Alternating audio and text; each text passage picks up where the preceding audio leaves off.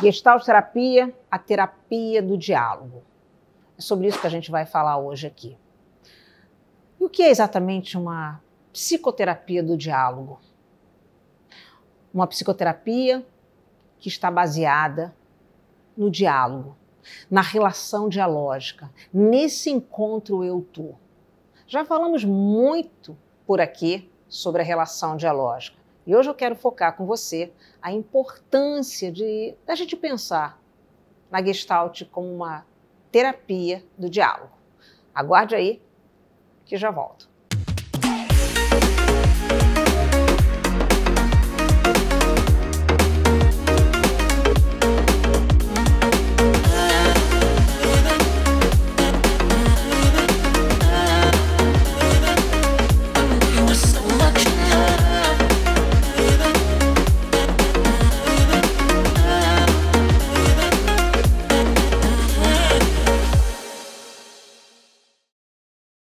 Você que não me conhece, eu vou me apresentar. Eu sou Tereza Amorim, psicóloga, gestalt terapeuta e diretora do Instituto Carioca de Gestalt Terapia. E estamos hoje aqui para falar dessa abordagem, falar do diálogo como um elemento básico da nossa abordagem. E o que é exatamente isso, né? Eu acho que a primeira coisa que a gente precisa pensar é que, às vezes, as pessoas pensam, né, que a gestalt terapia, ah, é uma psicoterapia que tem muitos recursos, muitos experimentos, muitas técnicas. Sim, temos muitas técnicas, experimentos, mas a gente precisa pensar que tudo está baseado no diálogo, nessa relação que é estabelecida entre terapeuta e cliente. Tudo está baseado no diálogo. Como você, como terapeuta, desenvolve essa relação? Como é o diálogo? Como você se aproxima do seu cliente. Esses são, digamos assim, fundamentos básicos, diria mesmo pressupostos fundamentais para a relação terapêutica. Acho que a gente precisa pensar que a terapia só vai funcionar com um bom diálogo. Às vezes você pode dizer: ah, mas talvez o meu cliente não se aproxime muito e eu tenho a dificuldade de diálogo, de dialogar, sim. Mas é responsabilidade nossa a busca desse encontro eu tu, a busca desse diálogo.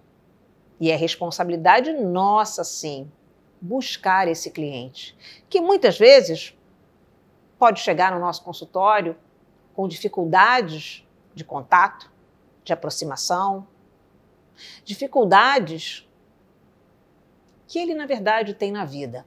O terapeuta deveria ser aquela pessoa diferente, aquela pessoa que está ali, aberta para buscar o seu cliente, para dialogar. E a gente pode pensar aqui o que é exatamente esse diálogo. Eu preciso me aproximar do meu cliente, Talvez algumas perguntas, algumas intervenções, um caminho sempre nessa direção de buscar o tudo meu cliente. Talvez quando esse cliente chega no nosso consultório, pode chegar monossilábico, silencioso, com dificuldade de diálogo, de dialogar. Ou, quem sabe, um cliente que fala muito e também tem uma dificuldade grande de diálogo. Às vezes, a gente acha que apenas a pessoa que chega com poucas palavras tem dificuldade de dialogar, mas não. Às vezes, a pessoa que chega falando muito, às vezes de forma até prolixa, ela também tem uma grande dificuldade de dialogar. E são pessoas diferentes que chegam no nosso consultório e que o terapeuta, você, eu, precisamos sempre, sempre, sempre desenvolver essa habilidade. Talvez você se aproxime desse cliente, o que fala muito, o que fala pouco, e você pode perguntar algumas coisas, trazer algumas intervenções, como Você quer falar um pouquinho de você? E o cliente responder: Não estou me sentindo à vontade ainda para falar muita coisa, ou talvez não tenha muita coisa para falar. E você pode achar nesse momento que a possibilidade do diálogo foi interrompida. Não, ele apenas está começando. E cabe a cada um de nós continuar nessa busca. Continuar nessa busca do diálogo. E aí você me pergunta: e como é que eu faço então? Eu vou te dizer. Que, que você está sentindo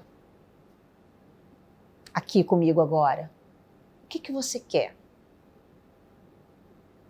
Como é para você ainda não falar nada? E você pode imaginar, mas então isso é dialogar? Sim.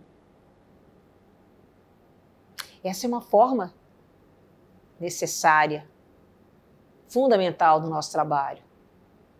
Saber dialogar. A Gestalt terapia é uma psicoterapia do diálogo, dessa busca. A gente chama o nosso cliente para esse diálogo.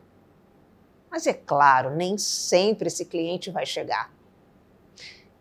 E de novo, cabe a você desenvolver e não desistir de continuar ali buscando o seu cliente, buscando essa possibilidade de aproximação, de diálogo. A gente está conversando aqui, eu tenho que falar para você também que é sempre muito importante, primeiro, ter você aqui no nosso canal, e eu vou pedir para você curtir. Está curtindo aqui o que a gente está conversando? Então, dá um gostei.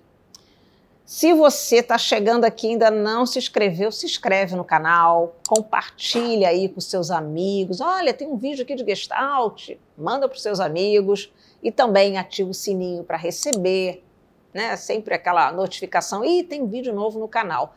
Os cards, você já reparou que eu sempre deixo alguns vídeos por aqui? É, vou deixar um vídeo aqui para a gente falar um pouco mais sobre essa relação dialógica, sobre o psicoterapeuta dialógico. Tem alguns assuntos interessantes aqui no canal.